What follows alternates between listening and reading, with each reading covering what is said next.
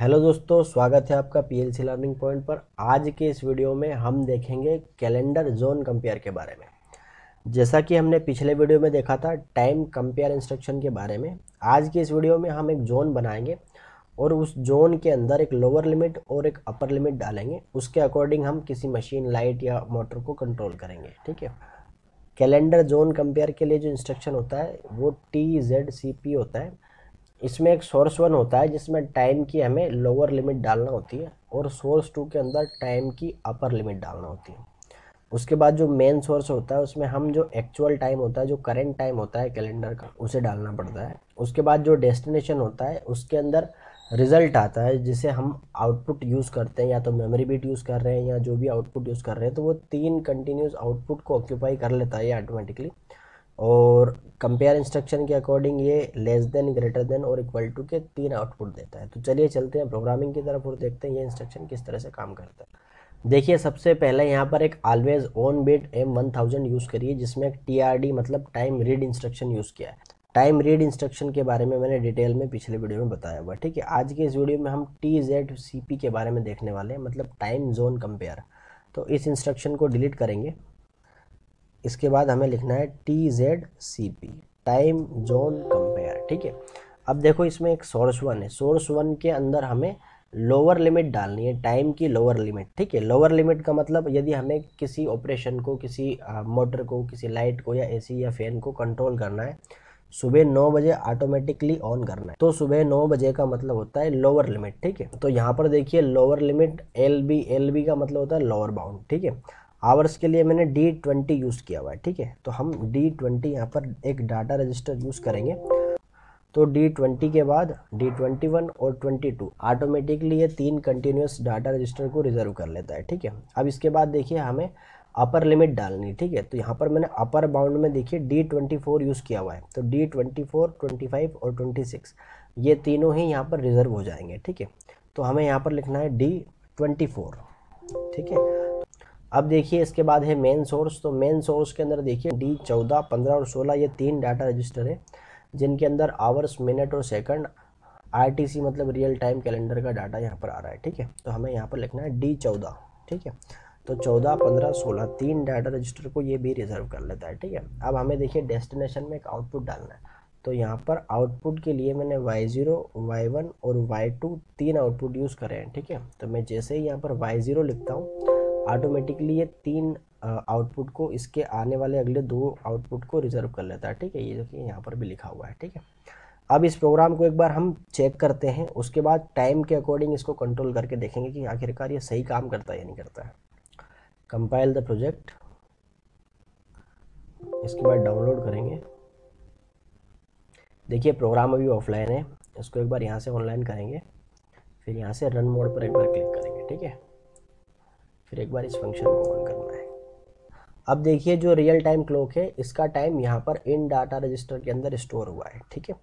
अब हमें lower limit और अपर लिमिट को डिफाइन करना है। उसके बाद हम चेक करेंगे कि रियल टाइम जैसे जैसे बढ़ता है, वैसे वैसे लोअर लिमिट और अपर लिमिट के अकॉर्डिंग ये इंस्ट्रक्शन सही काम करता है या नहीं, ठीक है? हमें लोअर लिमिट डालना है तो मैं यहाँ पर लोअर लिमिट देखिए, एक बार इसकी वैल्यू को चेंज करता हूँ, ठीक है? आवर्स में लिख देता हूँ नो, ठीक है? इसके बाद मिनट में हम ज़ीरो लिख देंगे। मतलब ये नौ बजे का टाइम है, नौ ज़ीरो ज़ीरो, ठीक है? देखिए अपर लिमिट में जो है, यहाँ पर मैं सत्रह दस डाल देता हूँ मतलब पाँच बज के दस मिनट, ठीक है? तो देखिए सत्रह डाला मैंने डी ट्वेंटी फोर में, और डी ट्वेंटी फाइव के अंदर मैं दस डाल देता हूँ मतलब दस मिनट, ठीक है? सॉरी डी ट्वेंटी फाइव इसके अंदर दस डाल देता हूँ। अब देखिए, जब y2 ऑन था, अब y1 ऑन है। Y1 ऑन इसलिए है क्योंकि ये जो टाइम है, इस जोन के अंदर है, ठीक है? ये लोअर लिमिट है और ये है अपर लिमिट ठीक है? तो इस लोअर लिमिट और इस अपर लिमिट के अंदर जो भी वैल्यू रहती है, जब real time clock lower limit और अपर लिमिट के अंदर रहती है तो ये y1 को ऑन करता है, ठीक है? जब एक्चुअल जो वैल्यू होती है, जो रियल टाइम क्लॉक होती है, वो लोअर लिमिट से भी कम होती है तो फिर वो वाई ज़ीरो को ऑन करता है। अभी देखिए, जो रियल टाइम जो हमने सेट किया हुआ है अपर लिमिट के लिए, वो सत्रह दस है, लेकिन जो एक्चुअल टाइम है, वो सत्रह चौदह है, ठीक है? यहाँ पर देखिए सत्रह चौदह, ठीक है? तो ये टाइम एक्चुअल वैल्यू से भी ज़्यादा है, उस वजह से इसने वाई टू को ऑन किया हुआ है। जब ये टाइम लिमिट के अंदर था मतलब नौ बजे से पाँच बजे के अंदर ये टाइम था तो इसने वाई वन को ऑन किया हुआ था, ठीक है? अब देखिए, यदि हमें वाई ज़ीरो को ऑन करके देखना है वाई ज़ीरो को ऑन कैसे करेंगे, ठीक है? तो हम इस अपर लिमिट की लिमिट और ज़्यादा बढ़ा देंगे। देखिए डी पच्चीस के अंदर मैं यहाँ पर तीस डाल देता हूँ। अब देखिए, ये वैल्यू उसके अंदर आ गई है, ठीक है? तो इसने वाई वन को ऑन कर दिया है। और यदि मैं इसकी वैल्यू को चेंज करता हूँ, यहाँ पर देखिए, ये आवर्स जो मैंने नो डाला हुआ है, इसको मैं डाल देता हूँ सत्रह बीस। यहाँ से जाके चेंज प्रेजेंट वैल्यू सत्रह।